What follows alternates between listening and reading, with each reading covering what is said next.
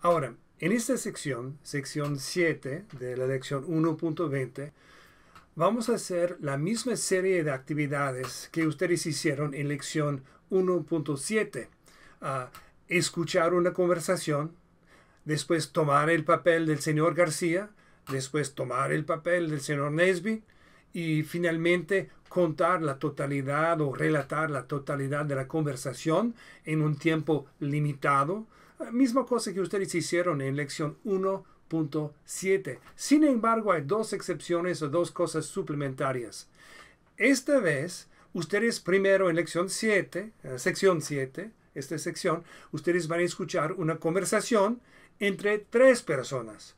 Ah, el señor ah, ah, García, quien está de este lado, Steve, y también el hijo del señor García, que se llama Diego. Aquí nosotros vemos una foto de este, este niño tan lindo. entonces, ¿recuerdan lo que pasó la última vez? Ustedes escucharon, buenos días, buenos días, señor. ¿Cómo se llama usted? Me llamo señor García. ¿Y usted? ¿Cómo se llama usted? Me llamo eh, Steve, etcétera, etcétera. Pues en esta sección ustedes van a escuchar la conversación y Diego también va a participar. En sección 8 ustedes van a decir la parte de, Diego y de su padre, el señor García. ¿ah? Y, y, en sección 9 ustedes van a tomar el papel de Steve en sección 10, ustedes deben decir las dos partes o los dos lados de, la conversación. Y hay una, otra diferencia, es que hay una sección suplementaria en esta serie de actividades, ah, es que ustedes van a tener que contestar algunas preguntas. Por ejemplo, voy a pasar a la sección 11, que se haya ah, después aquí. En sección 11 ustedes deben contestar algunas preguntas. Por ejemplo, ah, ah, ah, vamos a hacer clic en este punto de interrogación que indica que, que se trata de una pregunta. Entonces escuchen.